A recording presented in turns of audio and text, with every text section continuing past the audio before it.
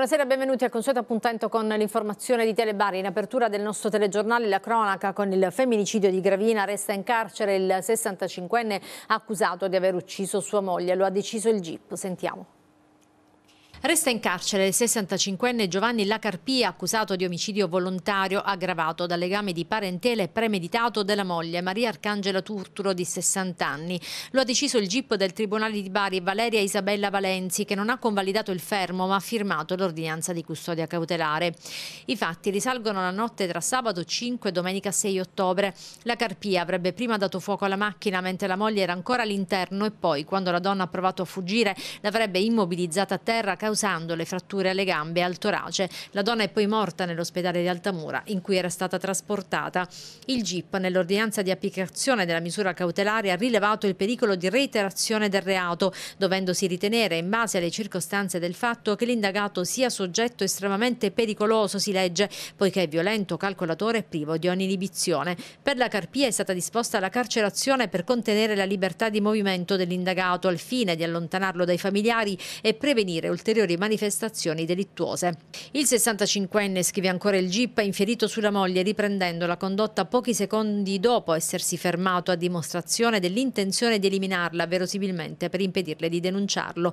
E per l'uomo che soffre di problemi neurologici non vi sono seri dubbi in questa fase in merito all'imputabilità dello stesso. In una prima fase il 65enne avrebbe detto di aver cercato di assistere la moglie dopo che a causa di un incidente la macchina aveva preso fuoco, ma per il GIP si tratta di una versione di comodo perché emerge benissimo dal video girato da una ragazza che passava in quel momento insieme ad alcuni amici che l'uomo non ha minimamente messo in sicurezza la moglie ma che l'ha al contrario aggredita. Inoltre, conclude, i primi rilievi sull'origine dell'incendio suggeriscono che questo abbia avuto matrice dolosa. Voltiamo pagina, primo giorno di mensa per i piccoli studenti delle scuole Corridoni e Piccini. Il prossimo lunedì si completerà il primo lotto, ma la tenuta del servizio è tutt'altro che certa. Serena Russo. Penne al pomodoro, pane e prosciutto cotto è il menù del primo pasto per i piccoli della Corridoni, unica scuola insieme alla Piccini per il momento partita con il servizio mensa per un totale di 150 pasti consegnati. Insieme a loro, come annunciato, l'assessore comunale Vito La Coppola che non si sbilancia sul prossimo futuro e in un gesto quasi scaramantico incrocia le dita prima dell'assaggio. Speriamo che il servizio possa continuare in questa maniera e quindi i nostri bambini e le nostre bambine bambine possano vedersi assicurare il, il loro pasto a scuola. Quando si partirà con il secondo lotto? E sono in corso le procedure, non sappiamo, dipende dalla disponibilità anche delle scuole nel mettere a disposizione a livello logistico organizzativo anche il personale. Entro lunedì dunque partiranno tutte le scuole del primo lotto. Per il secondo, quello destinato alla maggior parte degli studenti, alcune scuole si stanno già organizzando, ma il timore che il servizio possa subire un ennesimo stop è dettato da un nuovo ricorso, stop che condannerebbe nuovamente le famiglie al caos, spinge l'amministrazione alla massima cautela.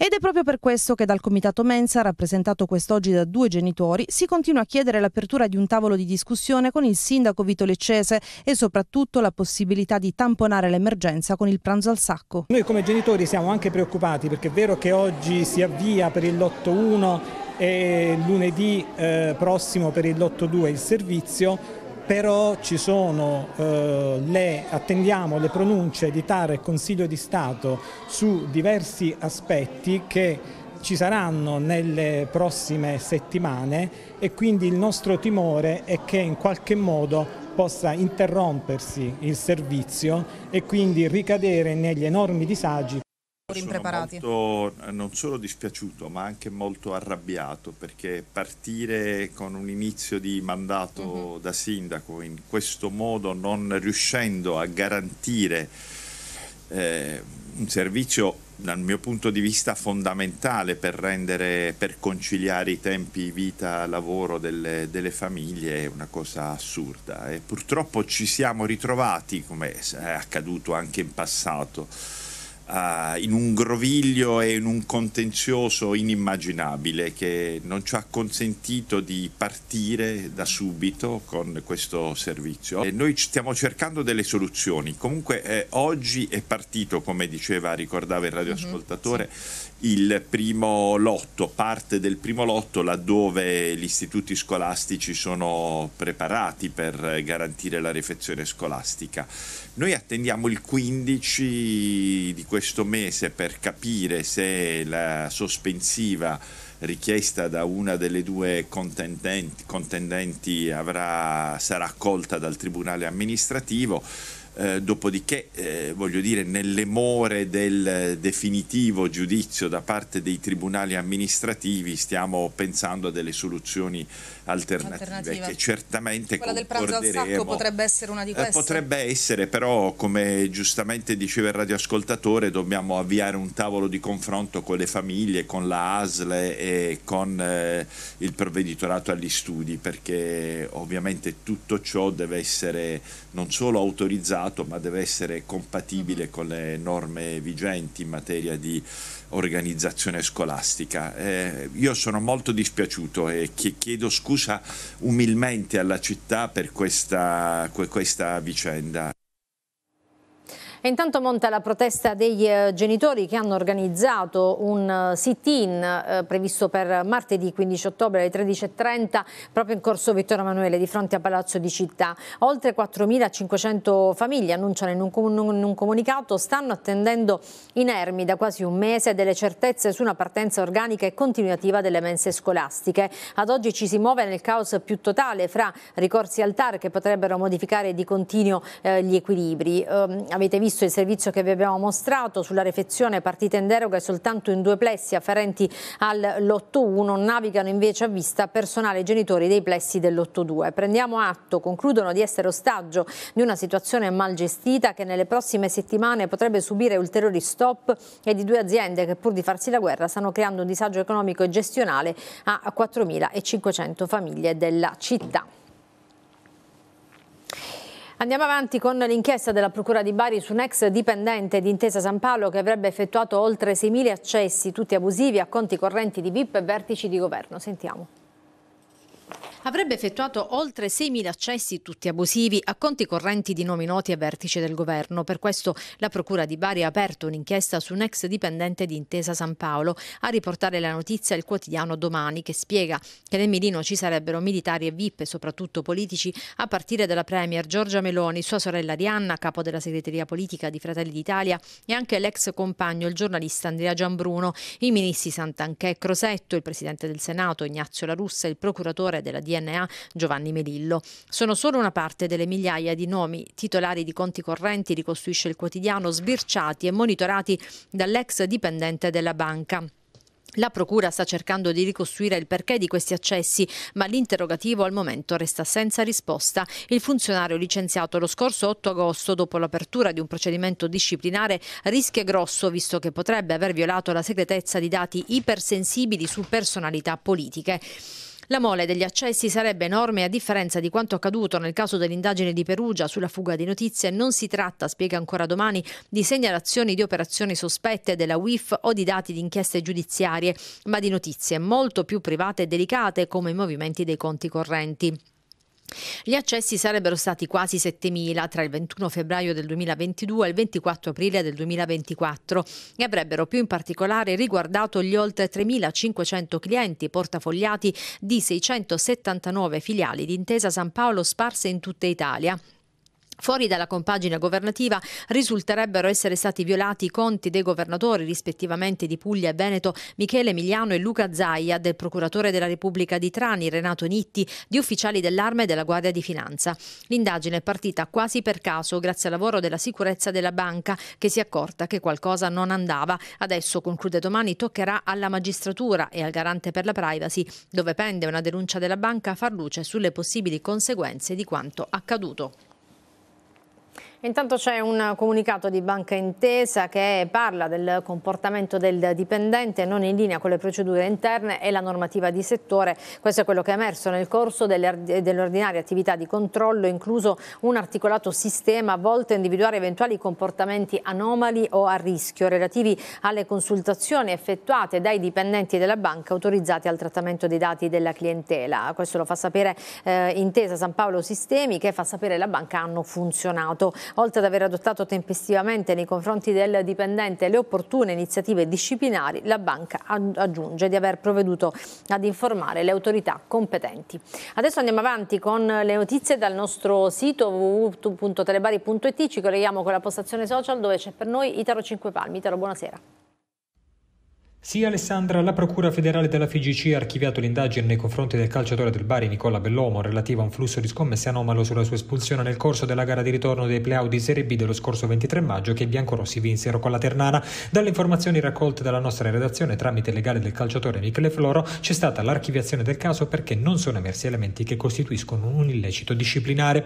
E andiamo avanti, ha ricostruito tutti i passaggi della sua esperienza nell'FC Bari 1908 ricordando di aver contribuito con fondi propri a due ricapitolazioni capitalizzazioni per un totale di 15 milioni di euro, respinto l'accusa di bancarotta fraudolenta e il contenuto della deposizione di Cosmo Giancaspro per il quale il fallimento sarebbe stato causato dal provvedimento della Covisoc e dallo svincolo di tutti i calciatori sotto contratto disposto dalla federazione.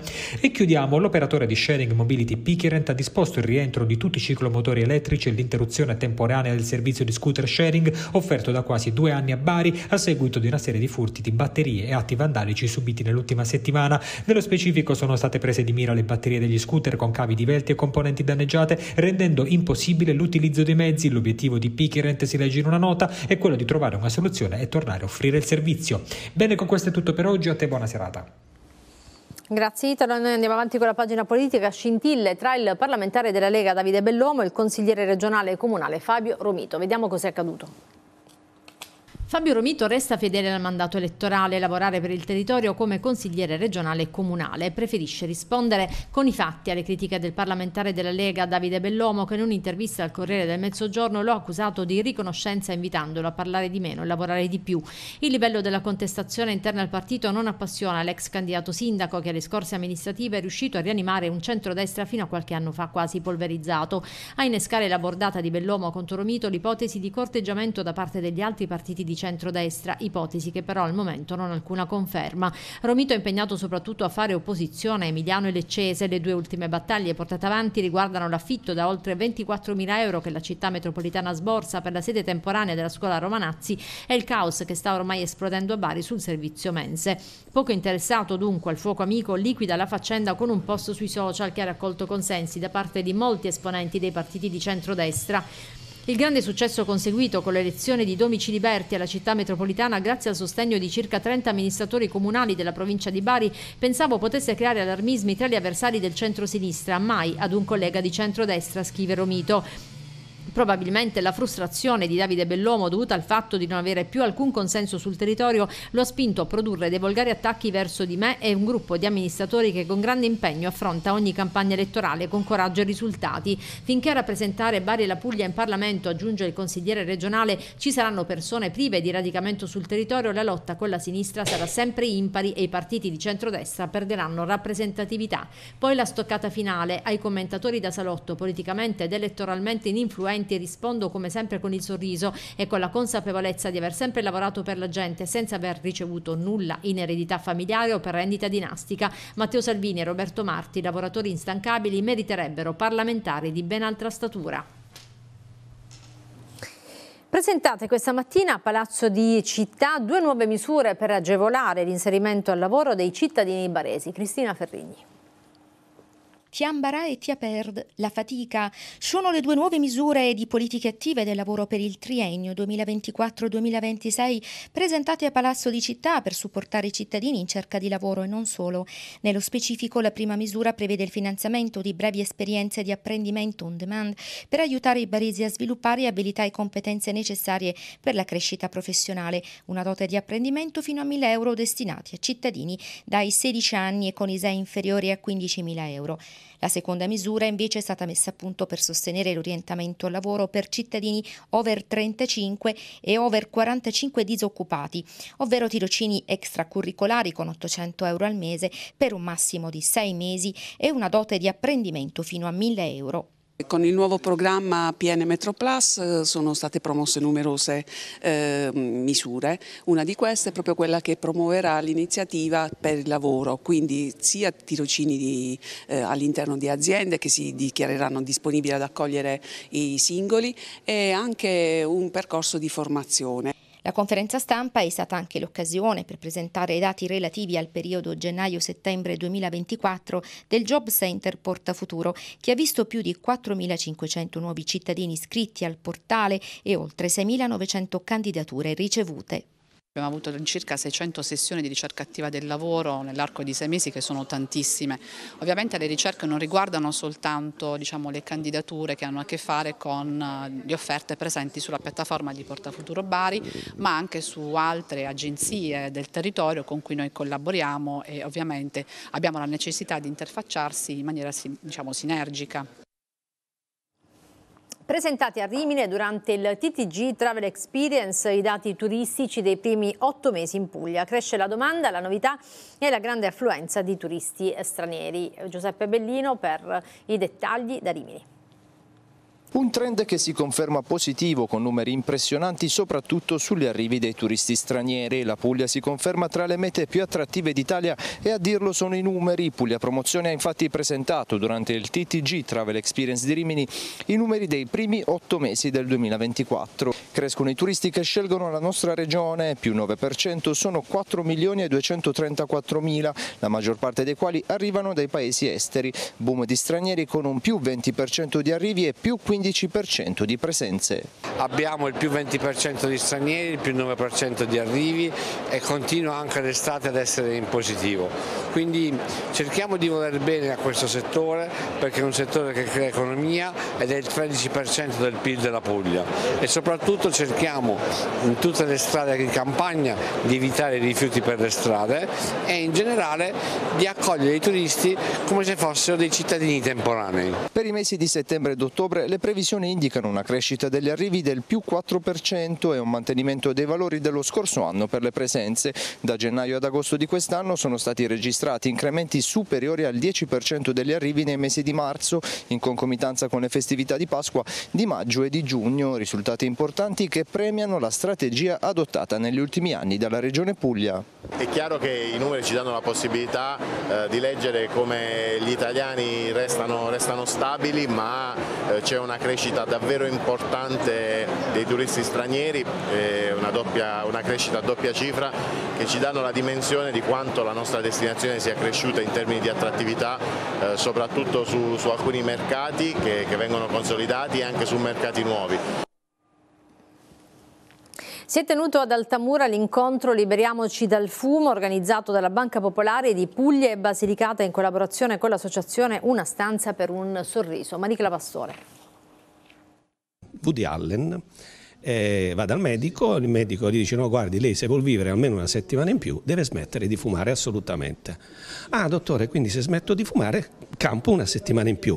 Certo, va a casa, ci riflette, ci pensa un po', dice, ah, camperina una settimana in più. E se in quella settimana dovesse piovere? Quindi è una scelta che uno fa. Cosa vuoi fare da grande? Anche la prevenzione è cultura e per liberarsi una volta per tutte dal tabagismo è bene diffonderne molta. Con questo obiettivo ad Altamura la Banca Popolare di Puglia e Basilicata in collaborazione con l'associazione Una stanza per un sorriso ha organizzato un incontro dedicato alla prevenzione oncologica con un focus sulle malattie causate dal fumo, un'opportunità per confrontarsi con esperti del settore sanitario sulle conseguenze del fumo sulla salute ma anche per discutere su strategie sempre più efficaci per smettere di fumare una volta per tutte. Purtroppo ogni giorno ci sono sempre nuovi casi con eh, l'età che avanza avanzano anche i casi di tumore e spesso sono legati proprio a, alla dipendenza del fumo. I dati sono sconfortanti, quindi i ragazzi sono fondamentali, bisogna partire proprio da loro e la finalità delle, di queste iniziative è proprio quella di cercare di contaminare, quindi tutte le persone che partecipano poi ovviamente devono fare diffusione ed è quello che vuole fare la banca, vuole fare cultura ci preme far capire quelli che possano essere i danni legati al tabagismo, alla sigaretta elettronica che ha cercato di sostituire la sigaretta classica, ma anche e soprattutto all'ICOS. Tutte e tre però contengono la nicotina. La nicotina è una sostanza che dà una dipendenza psicologica e quindi nel momento in cui uno inizia, anche così, per un pricio suo, rimane legato. Quindi noi dobbiamo cercare di far capire oggi quali possano essere i danni legati alla sigaretta classica, alla sigaretta elettronica o all'ICOS e cercare di invitare le persone adulte a non fumare proprio. Cambiamo argomento, fino al 12 ottobre la città di Bari ospiterà il Baba Festa 2024, il festival della letteratura per fanciulli da respiro internazionale che di anno in anno coinvolge realtà tra le più attive sul territorio pugliese. Ce ne parla Raffaella Di Renzo. La Sala Miura di Bari accoglie la quarta edizione del Baba Festa 2024, un festival della letteratura per l'infanzia dove le parole si trasformano in magia e i libri diventano porte verso mondi incantati. Questo festival interamente dedicato alla letteratura per l'infanzia si svolgerà a Bari fino al 12 ottobre. È importantissimo investire nella letteratura per l'infanzia, infatti in questi anni abbiamo realizzato 11 biblioteche, tutte con uno spazio dedicato alla letteratura per l'infanzia perché apprezzare i libri libri da piccoli eh, apprezzarli con la propria mamma, col proprio papà, significa essere dei lettori da grandi. Evento dal respiro internazionale che di anno in anno coinvolge realtà tra le più attive sul territorio pugliese. Il progetto nasce da un'idea della storica casa editrice milanese Baba Libri che da 25 anni propone al pubblico italiano albi illustrati e prime letture che si distinguono per la capacità di accompagnare i bambini nella crescita emotiva, cognitiva e sociale. Io credo fondamentale la, la necessità di dare ai bambini l'opportunità l'opportunità dell'incontro con il libro. Incontro che avviene attraverso la famiglia, avviene soprattutto attraverso la scuola. Ricordiamoci, in Italia il 41% degli italiani legge un libro all'anno, gli altri non leggono. Conoscere il libro significa conoscere storie. Per cui eh, eh, la Baba Festa ha questo no, come missione, quello di far eh, incontrare libri storie, bambini, ma allo stesso tempo di far conoscere ai bambini che un libro non cade dal cielo. Dietro un libro c'è un lavoro, un lavoro dell'autore, un lavoro dell'illustratore. Partner dell'editore nella realizzazione dell'evento è l'associazione culturale Libreria Spine Bookstore, una giovane e dinamica realtà barese apprezzata per le iniziative di promozione editoriale a livello locale e non solo. Questo festival nasce quattro anni fa, eravamo appena usciti dal periodo della pandemia, Baba Libri che è una casa editrice con cui collaboriamo lavoriamo da sempre, compiva 20 anni e noi di Spine avevamo pensato di festeggiare uh, suoi, le sue storie immortali e universali con una festa di compleanno. È nato con un'autrice e Francesca Archinto che sono venuti qui e hanno festeggiato con noi con una giornata di laboratorio e letture e man mano negli anni è cresciuto fino a diventare quello che è oggi. Andiamo nel, dalle notizie dall'area metropolitana, partiamo da Foggia dove la direzione investigativa antimafia ha sequestrato 6 milioni di euro a un noto pluripregiudicato di Cerignola, esponente di spicco della criminalità locale. Nicola Saracino. La direzione investigativa antimafia ha eseguito un sequestro a carico di un noto pluripregiudicato della provincia di Foggia, esponente di spicco della criminalità locale organizzata. Si tratta del cinquantenne Pasquale Saracino di Cerignola, coinvolto negli assalti ai portavalori e ai cavò degli istituti di vigilanza, su cui le indagini patrimoniali hanno evidenziato come avesse investito ingenti proventi derivanti dalle attività delittuose, accumulando beni di valore sproporzionato rispetto ai redditi dichiarati al fisco. Coinvolte nel provvedimento sei società, tra le quali un distributore di benzina, numerose autovetture di pregio, disponibilità finanziaria anche in territorio estero intestate a prestanomi, per un valore complessivo stimato in 6 milioni di euro.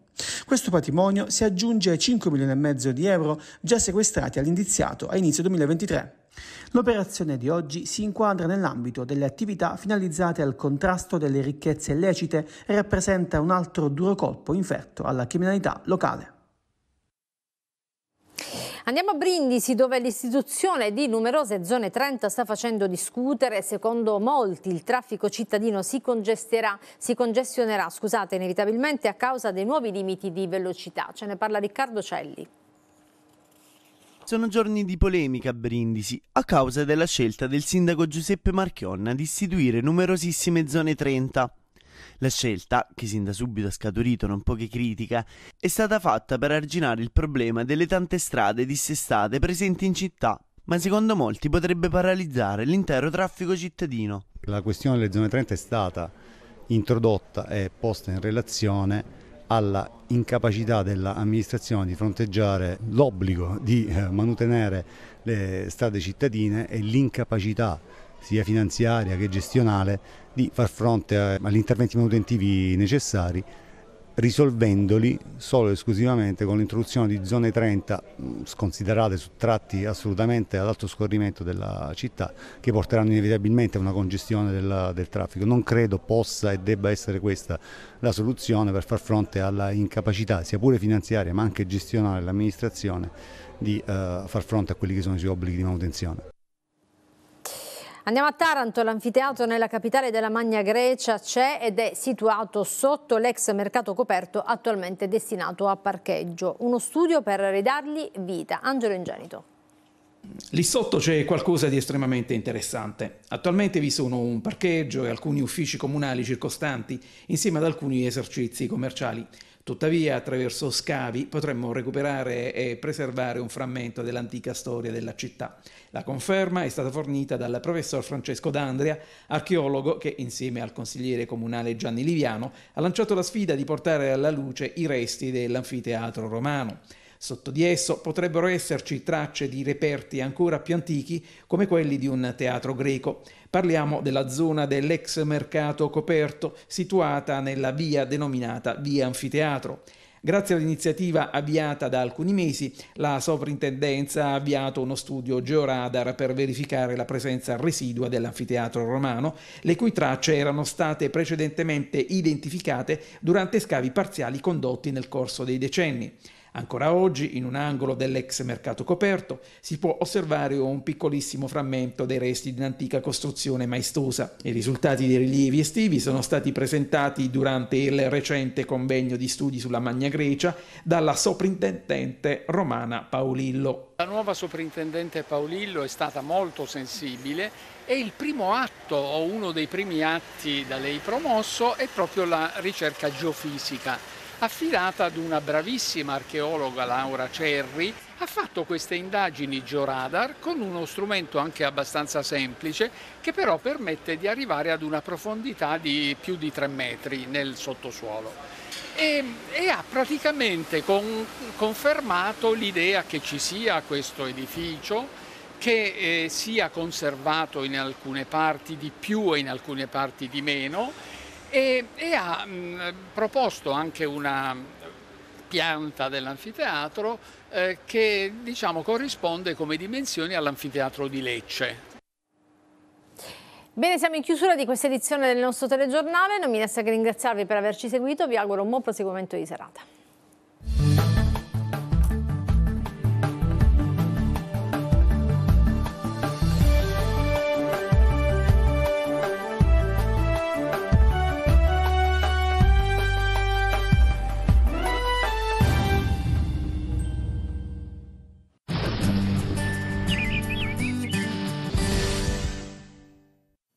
Un saluto ben ritrovati con le previsioni di Trebi Meteo. Nella giornata di venerdì la perturbazione giunta sul nord Italia si allontanerà velocemente verso Levante favorendo dunque un miglioramento su gran parte del nostro paese. Infatti osservando più da vicino la mappa delle precipitazioni notiamo come ci sarà giusto qualche residuo disturbo sul basso terreno inizio giornata, forse anche sul Friuli Venezia Giulia, ma per il resto la situazione vede un deciso miglioramento con il ritorno del sole un po' ovunque. Vediamo quindi il tempo che ci aspetta sull'Italia, sarà una giornata all'insegna del sole su molte regioni, giusto una residua variabilità a inizio giornata sui versanti tirrenici verso il Friuli, Venezia e Giulia, con un flusso di correnti che resta ancora occidentale, temperature che rimangono al di sopra delle medie, in particolare al sud, con punte anche di 25-26 gradi. Giusto qualche banco di nebbia non mancherà il primo mattino sulla Val Padana, ma per maggiori dettagli seguiteci sull'app di Trebi Meteo.